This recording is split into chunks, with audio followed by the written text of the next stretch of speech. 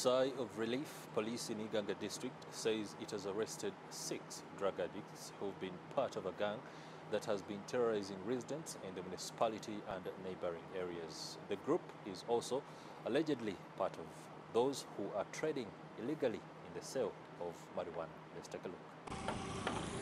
The six were netted during the operation from different streets in Iganga town with over 20 kilograms of marijuana. Some was being consumed while the rest had been stocked for sale. The six youth are aged between 18 and 30.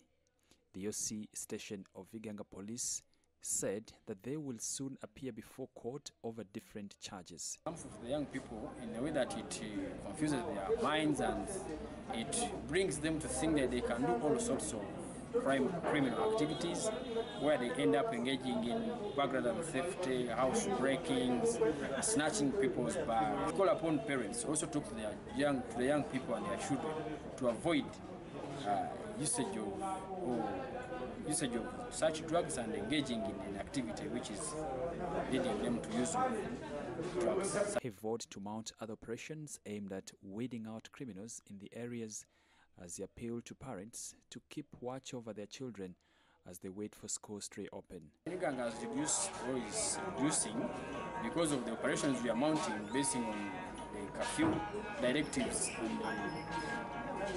and, and ensuring that uh, people follow the SOPs of COVID. So the crime rate is reducing and we shall continue doing such operations to ensure that uh, crime rate reduces and criminals are nowhere to be seen in The locals in Iganga town said that the crimes, especially theft, robbery, killings, among others, were purportedly by the drug addicts. People are very dangerous because if you look at how they use marijuana, uh, it affects their, their, their, their brains.